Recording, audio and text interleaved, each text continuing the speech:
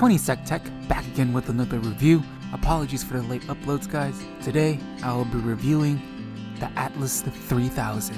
The software is still updating, there's something going on in there. He likes to play with this thing. He sleeps all day, he eats all day, he eats everything. He doesn't pay rent. Oh, look at that face. Oh.